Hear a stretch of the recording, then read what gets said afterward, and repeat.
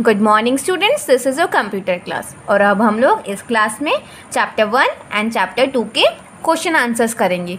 ये सारे question answers आपको अपनी कॉपी में करने हैं और इसको लर्न करना है। Okay question number one what is a computer computer क्या होता है? A computer is a machine it helps to play game listen to music watch movie pictures and do many more things okay next is write main parts of a computer आपको इसमें computer के main parts लिखने हैं। तो main parts of the computer are monitor speaker keyboard mouse and CPU third question explain the function of इसमें हमें functions बताने हैं। फ़र्स्ट इज़ मॉनिटर मॉनिटर क्या फ़ंक्शन होता है? The monitor shows the work that you do on the computer. Keyboard? Keyboard का क्या function होता है? A keyboard is use to type and give instruction to a computer keyboard क्या किसमें help करता है? टाइप करने में और कंप्यूटर को इंस्ट्रक्शंस देने में. C P U C P U is like the brain of a computer C P U जो हमारा कंप्यूटर का ब्रेन होता है. Mouse mouse is to point to the screen and to work on the computer mouse की help से हम अपने computer में वर्क करते हैं और स्क्रीन पे पॉइंट करते हैं। Speakers speakers are use to listen to the music and songs that you play on the computer speakers किसमें हेल्प करते हैं? हमें सॉन्ग सुनने में हेल्प करते हैं जो हमारे कंप्यूटर में हैं। Okay question number four write features of a computer अब हमें कंप्यूटर के फीचर्स लिखने हैं। कंप्यूटर क्या क्या फीचर्स होते हैं? Features of a computer are First is a computer works on electricity. Computer works very fast. Okay. Next is write different types of computer हमें डिफरेंट टाइप्स लिखने कंप्यूटर की कौन कौन से हैं?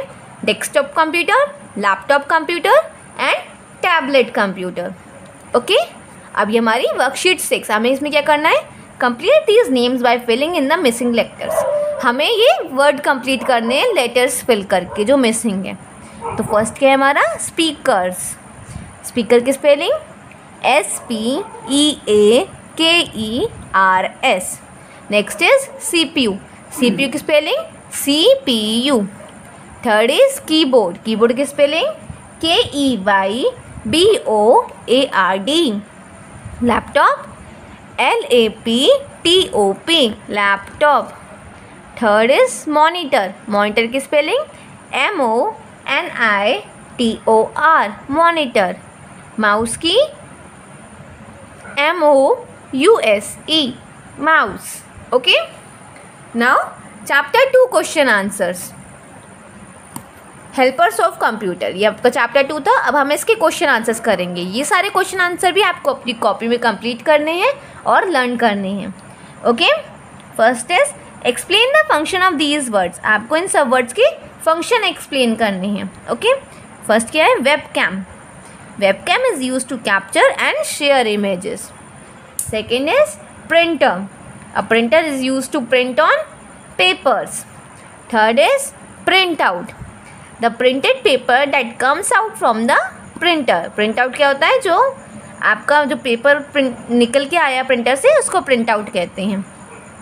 Headphones They are used for listening to the music. Microphone, it helps us to record our voice into the computer. Second is water storage devices.